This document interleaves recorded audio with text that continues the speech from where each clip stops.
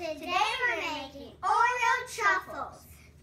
You will need one pack of cream cheese, one bag of chocolate chips, white or milk, but today we're using white chocolate chips. And of course the main ingredient, one pack of Oreo cookies.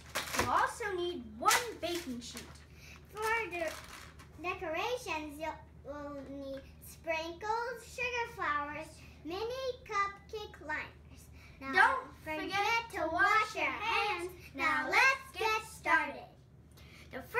going to do is crush the Oreos. We'll use a food processor for that. If you don't have one, don't worry. You can put the Oreos in a Ziploc bag and smash them.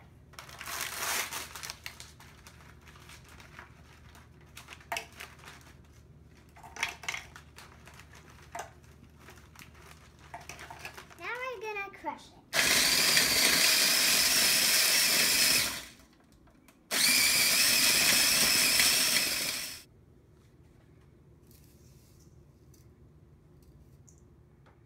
Now that we've crushed the Oreos, we'll add the cream cheese.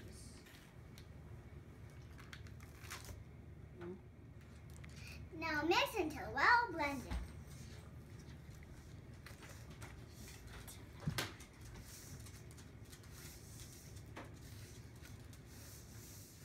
After you mix it, it should look like this. Now we're going to shape them into balls.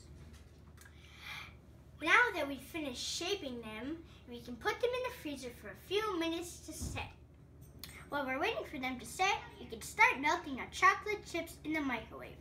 You should ask a grown-up for help. Now that our chocolate is melted, we can start dipping our truffles in it. We're gonna put a flower on top of the truffle before the chocolate gets hard.